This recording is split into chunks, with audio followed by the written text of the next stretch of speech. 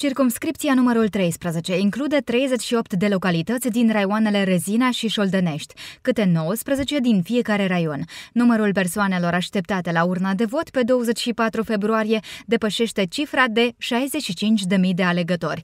Pentru a reprezenta în legislativ raioanele Rezina și Șoldănești, în cursa pentru alegerile parlamentare din 24 februarie s-au înscris democrata Eleonora Graur, Leonid Nauc din Partidul Șor, socialistul Valeriu Ciorici, candidatul blocului electoral acum, Sergei Cataranciuc, comunista Elena Macri și Galina Andrieș din Partidul Național Liberal.